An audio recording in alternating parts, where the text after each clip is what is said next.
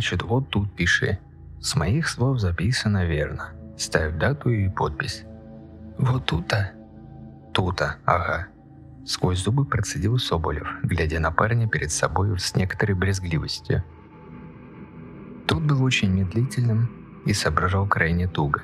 Вероятно, вообще до сих пор не понял, что по пьяной глупости зарезал приятеля, или скорее собутыльника, и теперь капитально так присядет на несколько лет.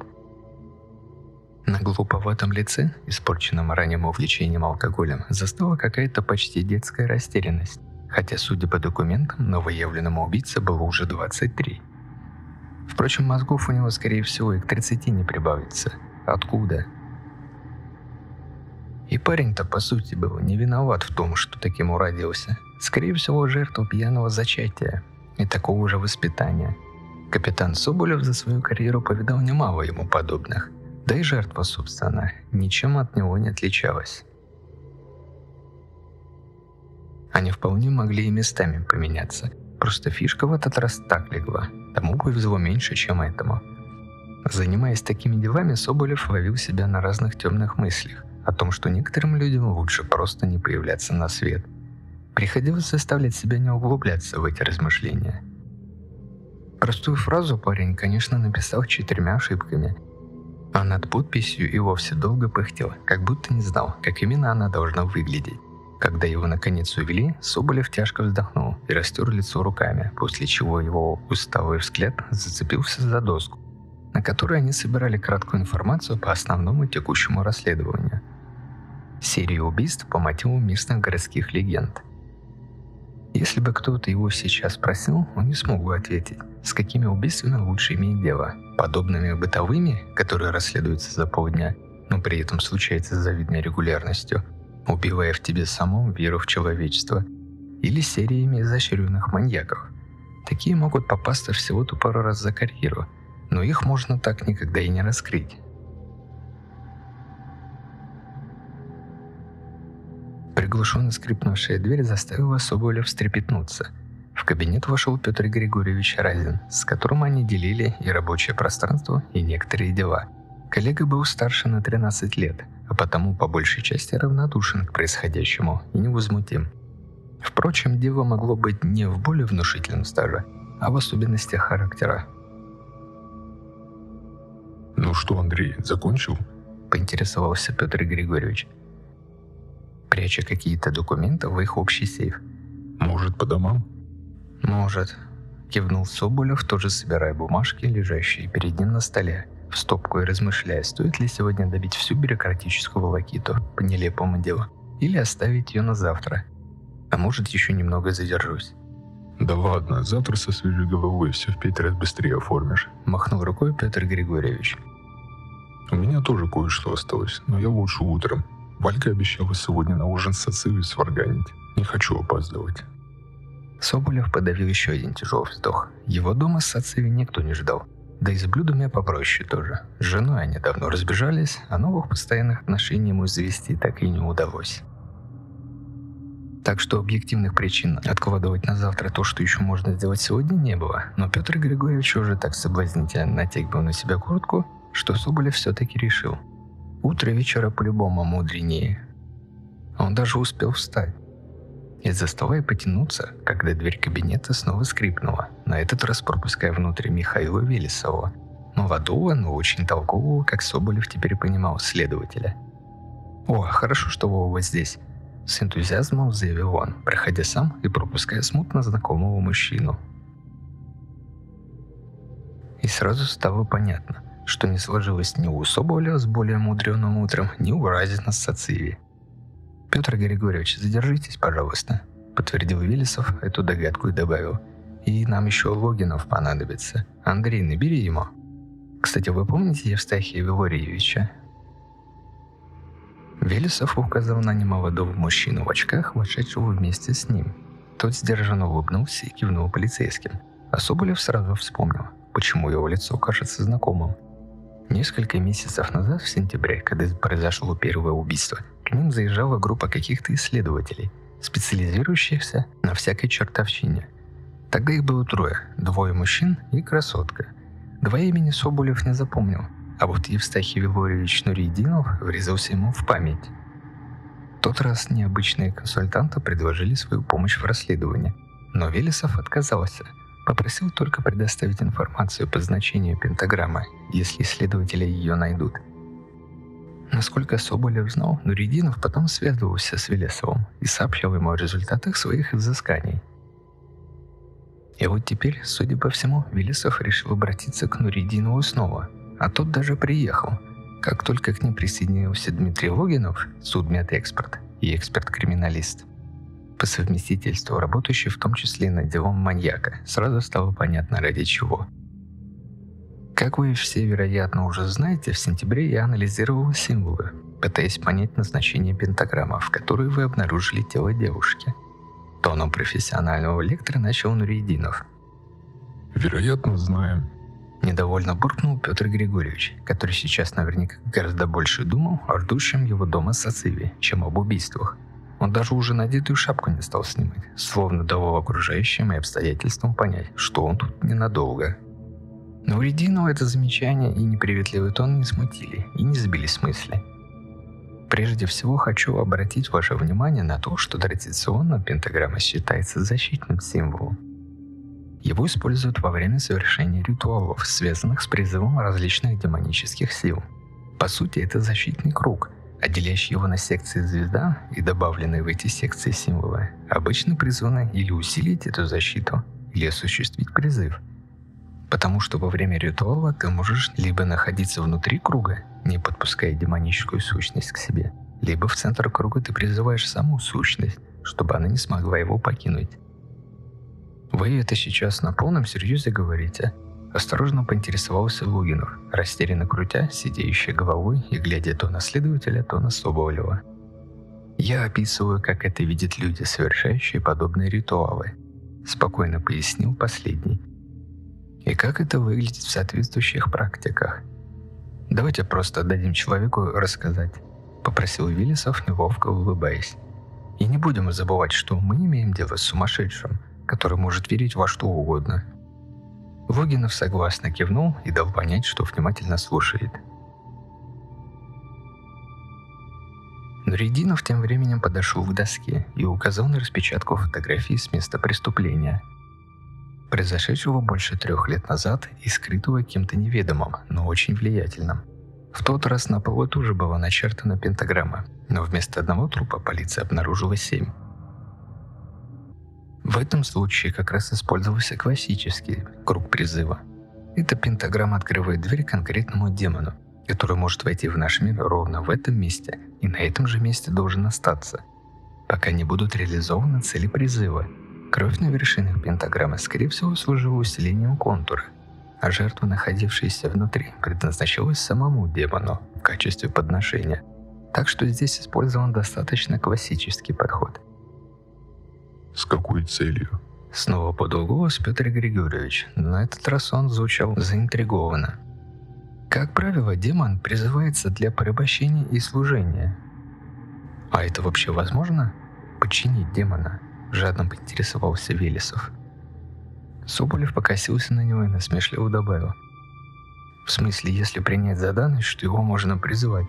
Следователь смутился – Считается, что чаще всего такие призывы заканчиваются неудачей или гибелью колдуна, но описывается и несколько случаев успешного призыва с последующей сделкой. Считается, что люди, преуспевшие в этом, получают богатство, влияние и долголетие. Но, как правило, за их алчность расплачиваются потомки. Преследование демоном превращается в родовое проклятие. В ваших нынешних убийствах использована совсем другая пентаграмма, и как я уже говорил Михаилу Петровичу в сентябре, это не классический ритуал, скорее кустарная магия, созданная кем-то достаточно одаренным из элементов разных школ. Поэтому так трудно понять, к чему должен привести ритуал. Потому что, судя по значениям символов, пентаграмма не предназначается для защиты или ограничения какой-либо силы. Она открывает дверь, то она нетерпеливого отличника, желающего показать себя, перебил Велесов. Да, Нуридинов снисходительно улыбнулся. «Какую дверь?» – поинтересовался Логинов, хмурясь, отчего на его уже немолодом лице проявилось чуть больше морщинок, чем обычно. Ритуалы вашего убийства призваны высвободить некую силу. Я думаю, что маньяк, кем бы он ни был, проводит не несколько ритуалов, а один многоэтапный.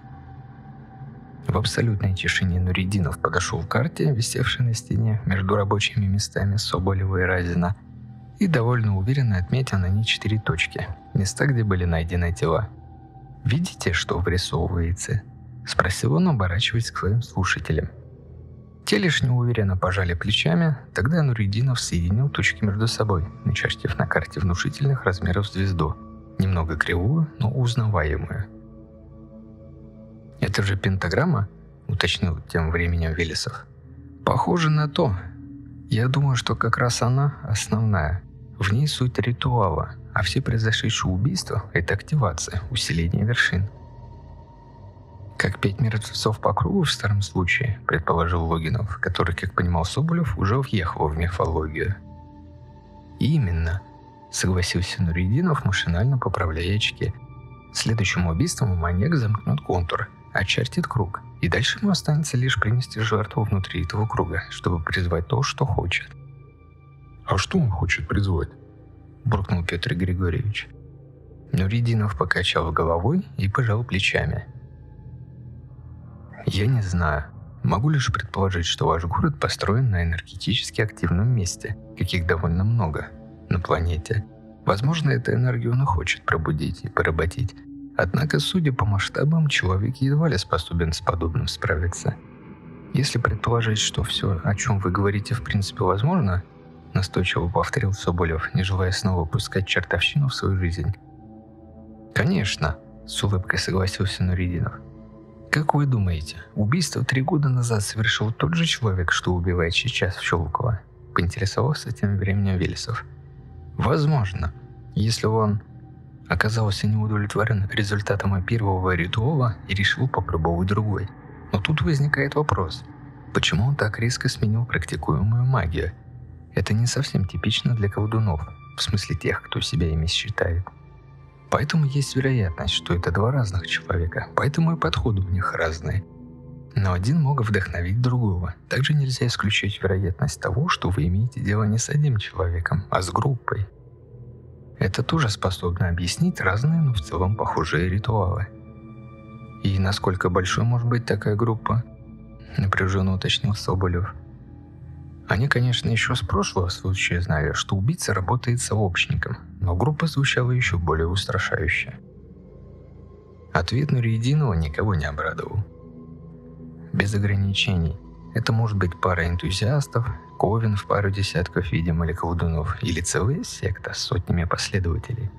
Главное, что это, скорее всего, необычный маньяк, получающий удовольствие от убийств. Это человек или несколько с миссией. И следующее убийство произойдет здесь? Велесов ткнул в карту в том месте, где у начерченной пентаграммы находилась пятая точка. Скорее, примерно в этом районе. Нуридинов обвел приличную территорию вокруг этой точки.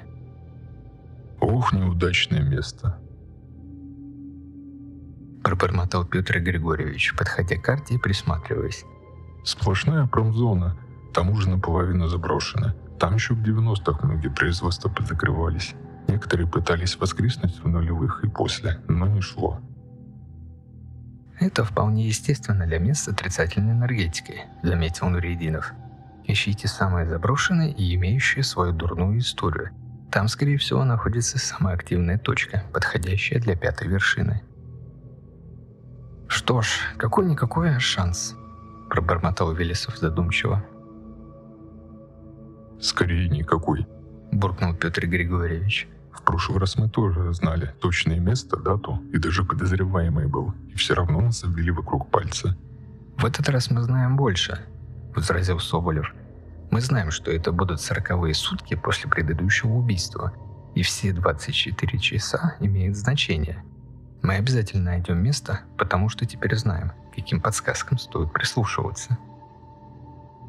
Вильсов перехватил его выразительный взгляд и кивнул, добавив – да и подозреваемый у нас снова есть. Правда? Заинтересовался Нуридинов. Расскажите подробнее. Может быть, не удастся узнать про него по своим каналам, связанным с магическими практиками. Соболев снова со значением посмотрел на Велесова, довольно заметно покачав головой, но следователь все равно ответил. Есть один человек, связанный с убийствами три года назад, который теперь живет в Щелково. Приехал аккурат накануне первого убийства. Его зовут Владислав Федоров. Соболев недовольно крякнул, считая это излишней откровенностью, но Велесов проигнорировал его. Лишь рассказал подробнее о том, что Федоров был на месте давнего убийства – После попал в аварию, в которой лишился зрения, и воспоминания о событиях того дня. «Слепой?» – удивился Нуридинов. В его голосе звучало явно сомнение. «Мы предполагаем, что у него расщепление личности», – добавил Велесов. И слепа только основная, а где-то внутри живет вполне зрячий маньяк-убийца. Он либо и совершил убийство три года назад, либо просто возник в ответ на травму, когда Федоров стал свидетелем того кошмара – Нуридинов нахмурился и хмыкнул. Причем так, что Соболеву это очень не понравилось. «Что?» – напряженно уточнил он. «У меня есть еще версия, но она вам не понравится». «Тогда, может, черт с ней?» – предложил Петр Григорьевич. «Какая?» – почти одновременно интересовался Велесов. Ритуал три года назад удался. Некая демоническая сущность была призвана, но что-то пошло не так – Причиной тому могло стать вмешательство у вашего Федорова, или он просто допустил ошибку в процессе. Но сущность могла вселиться в него. В смысле, он одержим дьяволом? Уточнил Логинов, и по его тону было невозможно понять, как он относится к этому предположению. Ну, скорее, демоном. В этом случае становится понять размах. Демон, безусловно, сможет справиться с энергией такого масштаба. Нет, знаете, это уже слишком. Непроизвольно повысил голос Сулев, вскакивая с места. Я готов поверить в раздвоение или расщепление личности, но одержимость – это уже для плохих ужастиков. «Зря вы так», – спокойно улыбнулся Нуридинов. «Ведь что такое одержимость? Два сознания в одном теле или больше. Не так ли в психиатрии появилась теория расщепления? Всего лишь попытка научно объяснить сверхъестественное». В кабинете снова повисла тишина – даже Соболев не нашел, что сказать. По сути, Нуридинов был прав. И расщепление, и одержимость звучали одинаково фантастично, и пугающе тоже. Как бы там ни было, добавил их необычный эксперт, меня есть возможность задержаться в городе на несколько дней, чтобы помочь вам. Как минимум с поиском наиболее вероятной пятой вершины и, соответственно, местом следующего убийства. А как максимум, не удержался Соболев – Нуридинов так странно посмотрел на него. То ли свет необычно отразился от стекол его очков, то ли в самих глазах промелькнуло нечто новое. Соболев не смог понять, но почему-то мелкие волоски на его шее отчетливо зашевелились. «Если здесь действительно замешан демон, я смогу помочь вам и с ним»,